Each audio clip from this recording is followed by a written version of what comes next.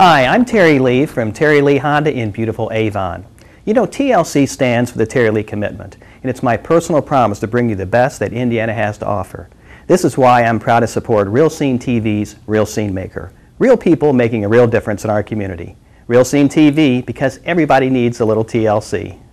Well, no doubt you've seen the television shows where the people are investigating the crimes with all the cool gadgets. Well, in today's Terry Lee's Real Scene Maker, we sit down with IFD's Arson Investigation Unit, and we find out that it's not always the big bad criminals creating the crimes. Sometimes it's the suspects you least expect. Did you know that juveniles account for more than 50% of arsons here in the United States? In today's Terry Lee's Real Scene Maker, we're going to take you inside of two very special places helping to combat those statistics.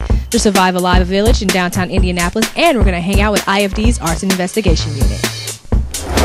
So in today's Real Scene Maker, into our journey into arson investigation, arson prevention, we are here with Lieutenant Tony Head of the Arson Investigation Unit. Walk me through a typical day when you guys get a call. Well, typically, uh, when we get a call, we're um, notified by our pager system. We respond as a team. There's a firefighter, and then there's a police officer that goes out on the team. We all we both go together. But um, on the fire side, our main concern and, and, things that we have to deal with is going inside the building, trying to figure out what the origin of the fire was, how the cause of the fire started. Unfortunately, to, to say is when kids get out of school during that time, um, right after that, we get a lot of our fires um, during that time too. Okay, so we have moved the interview into the bedroom. We've done that for a reason because we talked about children being the ones who start most of the fires and the arson. Tell me a little bit about why they picked the bedroom.